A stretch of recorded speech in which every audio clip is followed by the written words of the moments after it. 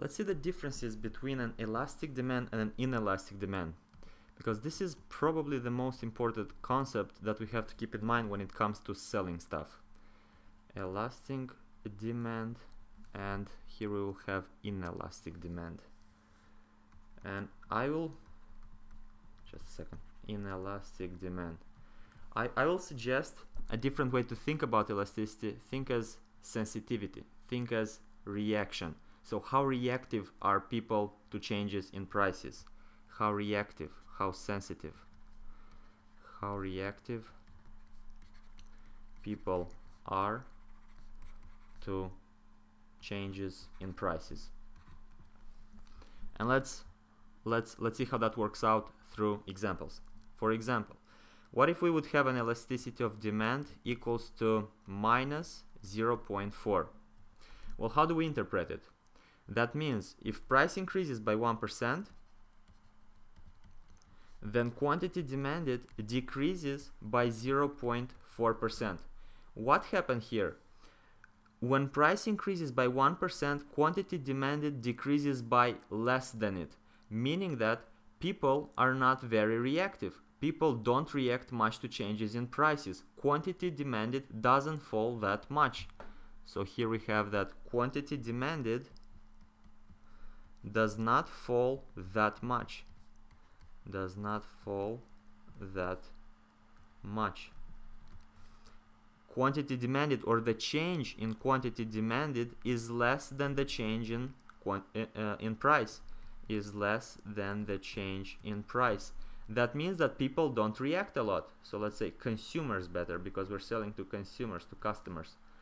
Consumers do not react a lot.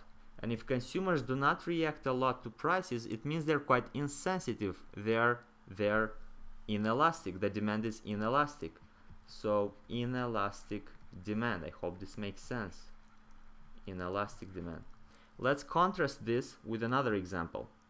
So zoom out, get some more space. Over here. What if we would have an elasticity of demand equal to 1.8?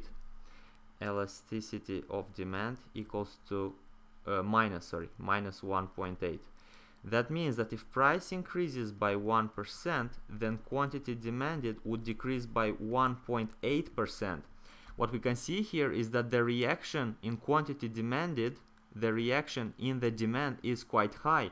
It's more than the change in price. So quantity demanded the change in quantity demanded is higher than the change in price. Is higher than the change in price. That means that people are quite reactive. People are quite reactive. They they decrease their demand a lot. They really didn't like this change in price. And what does that mean? Well that means that we have an elastic demand. Consumers react a lot. So elastic demand over here elastic demand. And now let's contrast this, let's contrast this if we would have an elasticity of demand equal to 1. Elasticity of demand equals to 1. That means if price increases by 1%, quantity demanded decreases by 1% as well. What we see here is that the change in quantity demanded is the same as the change in price. So the change in quantity demanded is the same as change in price. So the proportion is equal. We're talking about a unit, unit elastic demand. So people react proportionately to the change in price. If price goes up by 1%, quantity demanded would go down by 1% as well. So this is the highlight of, of elasticity here. We have unit elastic elastic demand and inelastic demand.